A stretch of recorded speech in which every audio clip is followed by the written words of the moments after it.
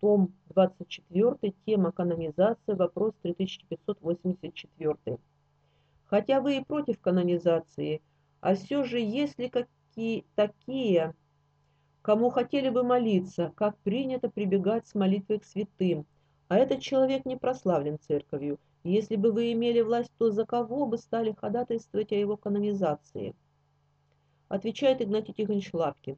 Канонизация – антиевангельское занятие. Кто обратился к Богу, веровал во Христа, кто жил в Духе Святом по Евангелию, все исполняя с любовью, они названы святыми. Деяние 9.13. Она не отвечал, Господи, я слышал от многих о сем человеке, который зла сделал, э, о сем человеке, сколько зла сделал он святым Твоим в Иерусалиме. Деяние 9.32. Случилось, что Петр, обходя всех, пришел к святым, живущим в Лидии. Не надо думать, что живущие в селении были монахами. 1 Петра 1.15. Но по примеру призвавшего вас святого, и сами будьте святы во всех поступках. Попробуйте сегодня назвать святым вашего знакомого, о котором хорошо известно, что батюшка им – был недавно из-за чего-то недоволен, мнение всех будет на стороне настоятеля, а не на стороне Павла. Апостол же живущих и в столице империи равно величает святыми римлянам 1.7. Всем находящимся в Риме, возлюбленным Божиим, призванным, свят... призванным святым.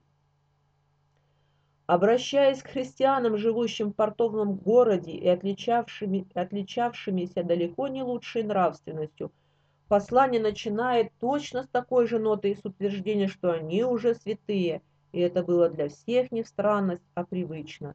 1 Коринфянам 1.2 Церкви Божией, находящейся в Коринфе, освященным во Христе Иисусе, призванным святым.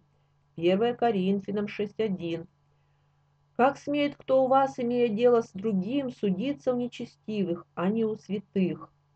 2 Коринфянам 1.1. Павел, волею Божией, апостол Иисуса Христа, и Тимофей, брат Церкви Божией, находящийся в Коринфе, со всеми святыми по всей Ахаии.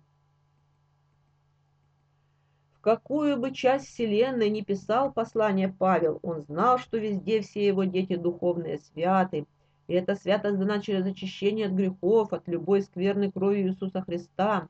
Эфес, Филиппы, Колоссы, Салунь просвещались проповедью святых, искупленных кровью Иисуса святых. Ефесянам 1.1. Павел, волею Божию, апостол Иисуса Христа, находящимся в Эфесе святым и верным во Христе Иисусе, Филиппийцам 1.1. Павел и Тимофей, рабы Иисуса Христа, всем святым во Христе Иисусе, находящимся в Филиппах, с епископами и диаконами. Колосинам 1.2. Находящимся в колоссах святым и верным братьям во Христе Иисусе. 1 Фессалоникийцам 5.27. Заклинаю вас Господом прочитать все послания всем святым братьям. Выходит так, что православные вообще и не знают, что они уже искуплены Спасителем и назван Духом Святым, и апостолами, не великими грешниками, не яко свинья в колу, в кавычках, но святыми и избранными. Тогда при чем же тут канонизация? Если верить в канонизацию, то помимо канонизированных нет уверенности в спасении ни одного человека – все остальные христиане разве пошли после окончания земного поприща в канализацию? Почему нет в списке святых книжника Ездры, собравшего книги Ветхого Завета? Нет его в святцах, и никто не имеет права назвать своего ребенка в честь его, а в честь Владимира, язычника, миллионы Володек, Вованов и Вовчиков. Вот житие Герасима Заорданского за 4 марта, жившего в V веке, скончался в 475 году. Чем же он прославился? Жили в монастыре 70 подвижников, и они расходились на неделю по келям в пустыне. Им нельзя было огня засветить, ни под каким видом, чтобы ночью почитать святые книги, и пищу разогревать нельзя было, и держали они обед полного молчания. И про Герасима никто бы не знал, если бы его лев не прославил. Герасим вытащил у льва занозу, перевязал уже загноившуюся рану, и лев привязался к нему, стерег монастырского осла. Но однажды лев отошел от осла и заснул на солнышке по монашескому обычаю. И тот, проезжавший купец, видя бесхозную скотинку, приватизировал ее. Герасим был убежден, что лев скушал подъеремное животное. Герасим возложил обязанности водовоза на льва за съеденное травоядное животное. И лев безропотно пахал на монахов, но однажды тот купец пришел с тем ослом к Иордану, лев оказался не кстати как раз там и узнал своего осла. Кинувшись с ревом к бедному животному, до смерти напугал караванщиков, которые в страхе разбежались, а лев схватил за, поводы, за повод узды и потащил осла Герасиму. Но так как ослу были привязаны еще и три верблюда с поклажей, то он в раз сделал богатыми монахов. После этого лев уже появлялся у Герасима только иногда. Когда же Лев пришел в очередной раз, братья сказали ему, что Герасим умер. Лев ревел и не хотел успокаиваться. Саватий повел льва на могилу старца. Лев там ударился головой о землю и сдох. Вот и вся история про Герасима. Приручил одного льва, но не сделал его христианином, ибо жизнь самоубийцы льва и говорит, что в нем был дух непокорства воли Божией. И эта душесщипательная история вошла во все прологи прологи и жития. А что же здесь из труда апостольского? Какая душа обратилась в людском зверинце? Сей Герасим увел в пустыню, может быть, ни одного молодого человека, как тот Кириак, который с ним жил. В том монастыре ныне живет один монах, стены охраняет, и не от того прославлено, прославленного церковью монаха Герасима, ни от этого хранителя стен никому нет пользы никакой за полторы тысячи лет. И вот рассказ был про иного Герасима, почтенный, греческое. Жил в России профессор Герасим Петрович Павский, умер в 1863 году. Переводит с еврейского языка с оригинала на родной нам русский язык книги Библии. Именно его уму и труду принадлежит вот уже более 150 лет перевод Псалтири и Евангелия от Матфея. Миллионы людей нашли и находят ежедневное утешение в этом чудном переводе – за семью печатями бывший текст засиял всеми красками, и кто знает про этого Герасима, и почему он не канонизирован, не почтен сообраза своему имени.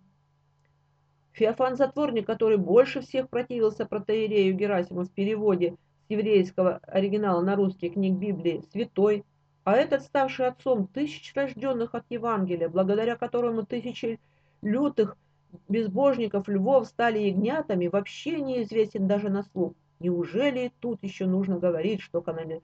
канонизацией занимаются монахи, и они в списке святых пишут по блату, в кавычках, своих, кому они тоже не подражают, а только кичатся черными одеждами да шапками-клобуками. Из переводчика Библии на разговорный великорусский язык теперь канонизируют уже двоих, митрополита Филарета Дроздова и архимандрита Макария Алтайского-Глухарева.